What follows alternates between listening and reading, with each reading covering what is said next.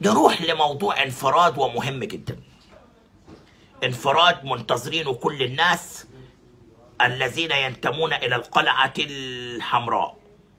انفراد من العيار الثقيل. أنا بديت معاكم حواري عن المدير الفني الجديد ان وصل الموضوع ل 12 15 20 سيفيهات بتدرس. أنا كنت ماشي معاكم بأمانة.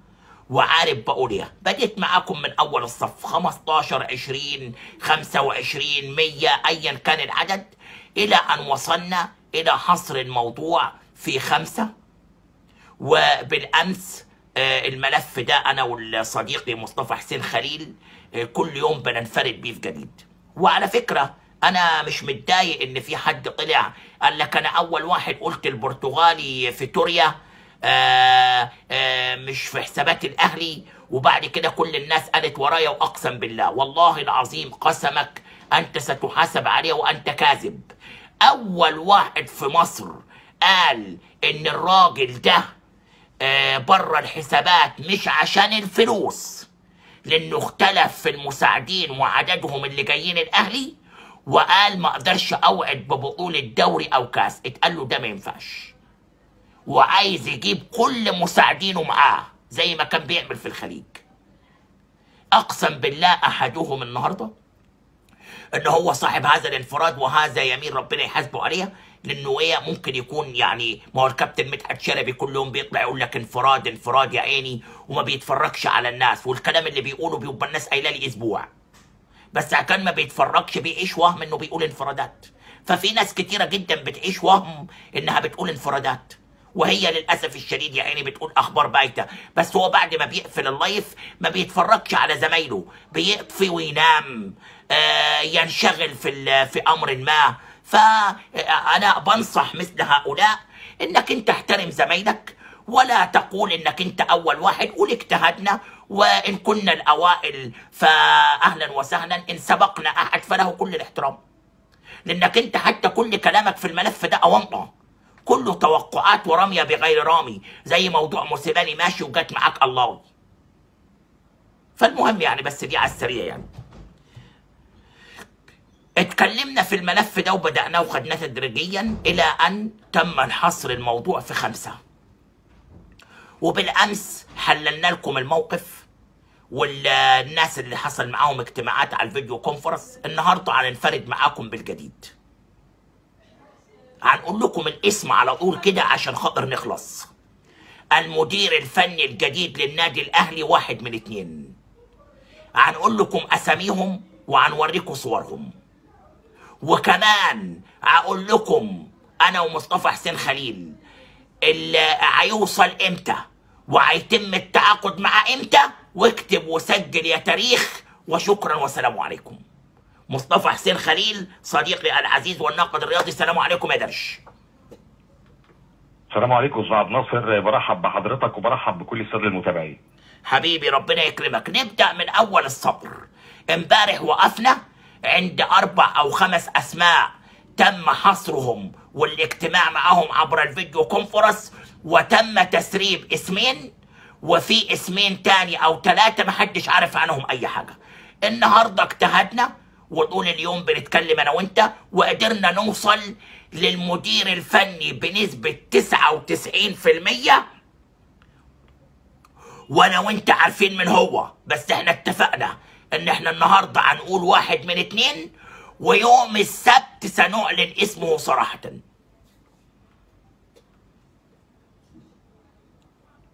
اتفضل يا فندم كلام حضرتك مظبوط. طبعا إحنا كنا بنتكلم في الملف ده من أوله. يشهد التاريخ والفيديوهات موجودة عند حضرتك إن إن إحنا أول من اعلنا إن مفيش روي فيتوريا كان الناس كلها كاتبة بما فيهم اللي أنكر وقال إن أنا أول واحد قلت لا ده هو أول واحد قال إن الأقرب روي فيتوريا. وليس العكس. معايا يا أستاذ ناصر؟ معاك يا درش.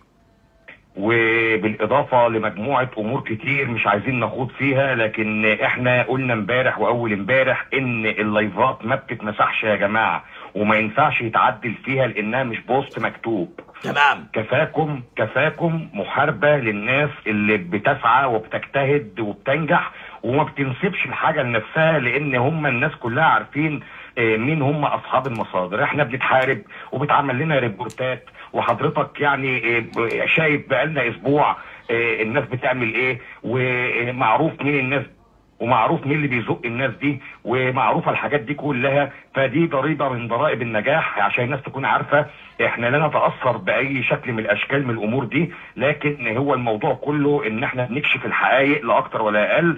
إيه لازم نعطي كل ذي حق حقه إيه اللي سعى واجتهد وجاب معلومة. إيه حتى من احترامه للمصدر ما بيقولش مين المصدر. عكس ناس بتطلع تقول كلام إحنا قعدنا مع الكابتن خطيب لا امير توفيق قال لنا لا مش عارف إيه وهذا الكلام لم يحدث تماما تماما تماما والجميع عارف ان لا الكابتن خطيب بيصرح ولا امير توفيق بيصرح. يعني لما تيجي حتى تهبد هبدة ما ينفعش تقول ان حد من اللجنة المكلفة باختيار المدير الفني هو اللي قايلها لك. ده أنا امبارح يعني معايا خلي بالك ده أنا معايا امبارح الاستاذ علاء عزت سألته السؤال وأنا عارف الإجابة. هل سيتم الإعلان الأسبوع القادم ولا الأسبوع ده؟ قال توقعاتي خلال 48 ساعة قلت له ندخل في رهان سوا أول الأسبوع القادم. فقعد يضحك. ورحت بعد علاء عزت قلت على مسؤوليتي. لن يتم الإعلان عن المدير الفني إلا الأسبوع القادم والتعاقد معاه أول الشهر. طب وهو حضرتك لما انت بقى تكتشف إن بكرة وأنا أتحداك إن بكرة الهبيده هيطلعوا يعملوا live ويقولوا مش إحنا قلنا لكم إن المدير الفني جاي أول الشهر. هو ده ال- ال- الدنيا ماشية كده والأمور ماشية كده للأسف الشديد. أول من قال إن في أكتر من 12 ل 15 CV كان عن طريق المنبر الإعلامي بتاعك. أول من قال اللي تم الحصر إلى أربع سيفيهات كان عن طريق المنبر الإعلامي بتاعك. لما النهارده من الصبح حتى من دقايق بنجتهد وبنحاول نوصل لمعلومة وعرفنا الأمر اتحصر في مين بالظبط ومين الاثنين اللي الدنيا كلها خلاص يعني إيه ماشية في اتجاه واحد خلاص هو المدير الفني من الاثنين اللي انت هتقولهم سيعلن لكم مصطفى حسين خليل. وإحنا وإحنا وإحنا عارفين اللي من مين فيهم اللي أقرب مش بس خلي 90%. بس خلي بالك احتراما لاتفاقنا مع الناس لن نعلن اليوم. إيه، لكن بالضبط. لكن احتراما لاتفاقنا سنعلن. انسى كل اللي سمعته. لن يخرج المدير الفني عن الاثنين اللي هيعلنهم مصطفى حسين خليل عليك. بس هنعلن يا ريس بعد إذنك هنعلن عن ميعاد الحضور ماشي. وهنعلن عن إنه هيتفرج على ماتش إيه بعد إذنك. اتفضل موافق. أنا موافق. هذا متاح. وكمان إيه؟ ترد على هبدة حسام غالي. فنبدأ الأول طيب. نعلن من هم الاسمين. طيب امبارح اتعمل أربعة آه، زوم أو video conference ايا كان حسب المسمى. مع أربع مديرين فنيين اتنين لم يتم الإفصاح عنهم واتنين خلاص تم الإفصاح عنهم. اللي لم يتم الإفصاح عنهم دول مستبعدين. انحصر الكلام ما بين اتنين. الاتنين هما البلجيكي يانيك فيريرا والألماني آه، ديفيد آه، فاجنر هما بعد دول إذن بعد الاتنين اذنك اللي لحظة انحصر- واحدة لحظة واحدة. أول حد مرشح بنسبة 99% وانحصر عليه الإجماع بتاع الأهلي واعتبروه نمرة واحد في الترشيحات. أهو يانيك صورته أهو. يانيك فيريرا. أيوه. البلجيكي فيريرا.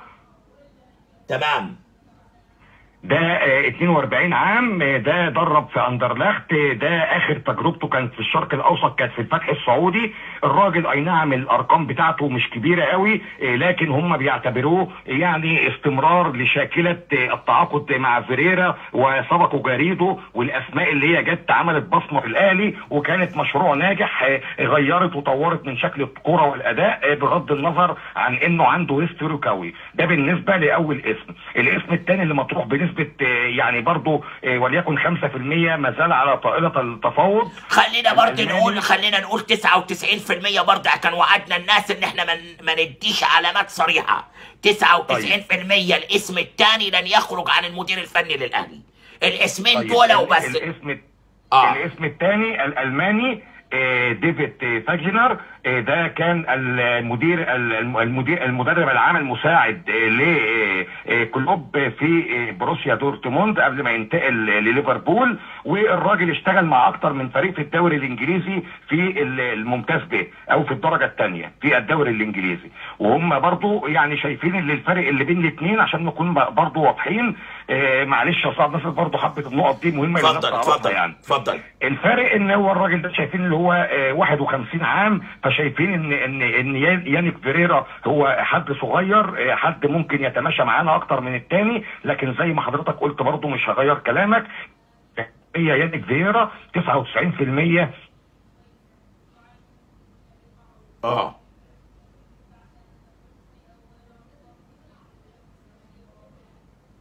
تسعة وتسعين في المية يا مصطفى معاك. خلي بالكم يا جماعة من الكلام بتاع مصطفى ده لأن ده زبد من قلب من قلب الحلة. حتة من الموزة كده من قلب الحلة. وخلي الناس تاكل عيش ورانا. اتفضل آآ آآ آآ النقاط يا مصطفى. طيب ال ال ال ال المدير الفني ايا كان وات هو الاسم الأول أو الاسم الثاني هيكون متواجد في القاهرة. هيوقع العقد. أول مباراة يتفرج عليها يا جماعة مع النادي الأهلي هتكون مباراة سموحة. طب ماشي ما. أقول لك على حاجة ما تبخلش علينا. قول لنا هيجي إمتى؟ أهو انفراد أهو. هيجي هيجي إمتى؟ إن شاء الله إن شاء الله إن شاء الله. يعني هيجي بلاش نقول اليوم لكن هيجي في نص الأسبوع. القادم إيه والمدير الفني هيتعمل لا يا عم خلي يا عم خلينا نقول يا عم نقول دي متاحه الاثنين أو الثلاث بعد مباراة الأهلي وبيراميدز. أهو سجلوها طيب الاثنين أو الثلاثاء. إحنا إحنا الراجل ما وأنت عايز بالظبط. خلي خلي بالك بص يا الأخ اللي بيقول فينا بص إحنا انفردنا بالاسماء زي ما ناس كتير انفردت لها كل الاحترام والتقدير. بس إحنا النهارده بنقول لك خلاص الاثنين دول يانيك فيريرا أو الالماني الراجل الالماني ديفيد فاجنر ده ولا ديفيد آه مش عارف إيه ويوم ديفيد فاجنر دي ديفيد فاجنر ويوم الحد بعد مباراة الأهلي وبيراميدز سيتم الإعلان عن حضوره القاهرة. وهيكون في القاهرة الاثنين أو الثلاث وهيتفرج على مباراة سموحة من المدرجات وهيمضي العقد إمتى يا مصطفى؟ يمضي العقد بعد بداية السنة المالية الجديدة اللي هي 1 7 ممكن يمضي يوم 2 7 وبعد مؤتمر صحفي عشان طبعا إن شركه الكرة تستلم العمل بتاعها في بداية السنة المالية الجديدة اللي هي 1 يوليو إن شاء الله. يعني 1 7 يا جماعة السنة المالية 30 6 هتستلم شركة الكره رسميا الإدارات المالية بتاعتها. 1 7 من حقها توقع رسميا على عقود مالية طبقا لقرارات مجلس الإدارة وده الانفراد بتاعي من شهر. واحد سبعة شركة الكورة هيبقى معاها الملف المالي من حقها توقع وتتعاقد وتجيب وتروح وتيجي اتنين سبعة أو تلاتة سبعة المؤتمر الصحفي بالظبط كده يا فندم وهيتم الإعلان عن المدرب في المؤتمر الصحفي الناس كلها تشوفه بالطريقة بتاعه النادي الأهلي اللي هو دايما بيعلن فيها عن المديرين الفنيين. وإحنا طبعا قلنا الكلام ده وخدنا الإذن اللي إحنا نقول عشان الناس ما تنتظرش المدير الفني اللي جاي في الطيارة وجاي في المطار. اكذوبه ومرات فايلر وفي أكتوبر النهارده إن في كان ممكن موسيماني يرجع تاني وشوية حوارات. أنت حضرتك يعني أنا عارف إنك أنت ما بتتابعش لكن أنا و... وكلام إيه وكلام أحمد يحيى. أهو بقول لك كلام أحمد يحيى وكيل فايلر. على موضوع فايلر للاستهلاك الإعلامي والناس اللي قالت إن فايلر رجع احتمال أول فنكوش. تم صرف النظر تماما عن فايلر. لأن فايلر علشان يجي. أيوه الخطيب عايز يرضي الجماهير ولكن مليون دولار كاش عشان فايلر يفسخ التعاقد مع اليابان. ولو جت لنا حمى البطاطس بكرة مراته هتقول له أنا خايفه عليك يا فايلر تعالى لي تاني. عشان أجيب لك من الآخر ده الكلام بتاع. فاللي بيقوله أحمد يحيى لبعض الزملاء ضحك على الدقون. مفيش فايلر. الاتنين دول واحد منهم مدير فني للأهلي. الاتنين دول واحد منهم يانيك فيريرا احتمال أول والأخ ديفيد فيرجنر. فاجنر فيجنر آه ماليش في الإنجليزي أنا. آه آه هو احتمال تاني. حد يقول لي طب إحنا شفنا في مباراة الأهلي والزمالك عمرو محب موجود في الجهاز ما مشيش مع موسيماني. يا ترى ليه يا مصطفى؟ محب عشان خاطر الاثنين إن احدهما يتحدث الفرنسيه الثاني لكن يتحدث الإنجليزية وعمرو محب مترجم للفرنسية والإنجليزية يعني آه، آه، يعني ابديت موجود يعني عشان خاطر أي حد اثنين هو المترجم بتاعه. يعني عمرو محب مستمر مع المدير الفني الجديد. طبعا عمرو محب مستمر مع المدير الجديد. طيب آخر سؤال بس. لأن أنا عرفت إن الكابتن حسام غالي زعلان النهارده جدا من اتهامه بإنه بيسرب معلومات لميدو. هو هو طبعا أنا أنا عايز أقول لحضرتك حتى اللي بيهبد الهبدة دي قبل ما نقال الموضوع بتاع آه، ديفيد تيرنيجر كان آه، آه، إبراهيم فايق مش ميدو. ده اولا. ثانيا ان إنك أنت تطلع تقول إن حسام غالي هو اللي بيسرب المعلومات لأحمد حسام ميدو دي عمرها ما بتحصل ولا عمرها تحصل. واستمرار للحرب يا عبد الناصر اللي على حسام غالي. أول حاجة اتقال إن هو اللي ممشي موسيماني ما كلتش مع الناس. تاني حاجة بيتقال إن هو بيلعب محمد هاني عنوة ما كلتش مع الناس. تالت حاجة اتقال إن حسام غالي عايز يمشي سيد عبد الحفيظ ويجيب محمد فضل كورة ما كلتش مع الناس. فنعمل إيه الجديد؟ الجديد نقول إن غالي بيسرب الكلام بتاع مجلس الإدارة والاتفاقات والكلام ده كله مش سكة النادي الأهلي ولا سكة إدارة النادي الأهلي. والله العظيم يا جماعة الكلام ده قايلينه من أسبوع. قبل الناس اللي اتكلمت النهارده وامبارح وأول امبارح. بس أنتوا بتحبوا اللي ينصب عليكم. أنتوا بتحبوا اللي ينصب عليكم. للأسف الشديد يا عبد الناصر آه، آه، الآخرين عشان خاطر آه، هم عارفين إن بقى في مصداقية كبيرة جدا يعني وا- واحد واحد واحد واحد في التعليقات يقول لك يا فلان الفلاني قال ده. طب ما تقولش ليه إن أنا قايله امبارح كله وهو نقل مني وقاله النهارده؟ يعني إيه؟ عشان أنت مريض. أنت مريض. وأنا خلي بالك مش بتاع الأسلوب ده ولكن قررت إن أنا ما أسيبش حقي لأن لقيت ال- النقل والخطف 24 ساعة. والسرقة. وبعد كده قاعد يقول بس احترمنا يا أخي إحنا موجودين. وعندنا مصادرنا. لا. مش كل حاجة أنا أول واحد أنا أول واحد أنا أول. واحد. ده في إيميلات من من من الطرف الثاني ده هتبدأ تهاجمنا وهتبدأ تشتمنا وهتبدأ تعمل حاجات كتير وأنت عارف الكلام ده آه، هي كويس. في أطراف كتير مصدر ضحيه ما, ما أكتر منهم يا صديقي العزيز.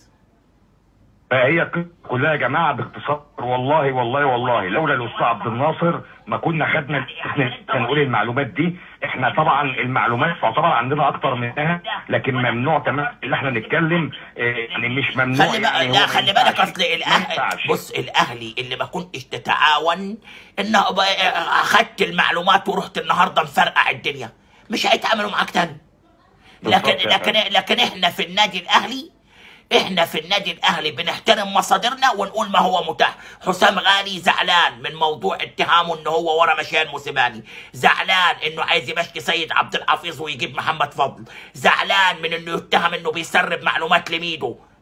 و- واتكلمت معاه. قال لي لا لا الاهلي ولا مبادئنا ولا أسلوبنا في الإدارة ولا اللي اتعلمناه لو أنا اللي بقدم البرنامج مش هقول أسرار. مش عشان مش قد ميدو. زي ما انت بتعرف تحصل على. زي ما انت بتعرف تحصل على معلومة ميدو بيعرف يحصل على معلومة؟ وكمان بالإضافة يا فندم إن حاجة مهمة إن إن يعني اتقال كمان إن كابتن أحمد شوبير معاه كنز معلومات لكن هو الفكرة كلها لو الراجل آه، بيطلع يقول كل اللي عنده فده ضد مصلحة النادي الأهلي. طب وشوبير ما قالش ليه اسم المدير الفني صراحة؟ ما ما ينفعش. في في حاجات يا جماعة أنا بتكلم مع ناس في الزمالك. يقول لك دي بس ما تقولهاش كده ومش عارف وننسق مع بعض ده مش عيب. وفي انفراد أجيبه من بعيد عن الإدارة أنا حر. نفس الوضع بالنسبة للنادي الأهلي. ملف المدير الفني هم مصدري. ممكن يديلك معالم يديلك جنسية للمدرب يديلك حاجات تشتغل بيها لكن مش هيديك الاسم صريح. وإن كنت أنا النهاردة عرفت الاسم صريح ولكن كعلاقات وصداقة ولن أعلن عنه إلا يوم السبت. يوم السبت ليلة مباراة الأهلي وبيراميدز لأن الراجل هيجي بعد مباراة الأهلي وبيراميدز. بشكرك شكرا جزيلا يا مصطفى يا جميل. خل- خل- خلينا نكون متفقين إن يوم السبت يوم الجمعة يوم الأحد إحنا أول ناس هنعلن وخلاص عشان ما تحددش ماشي ماشي يا أول ناس هنعلن إحنا. ماشي يا حبيبي أشكرك يا مصطفى على التعاون وأشكرك على مجهودك كله معانا.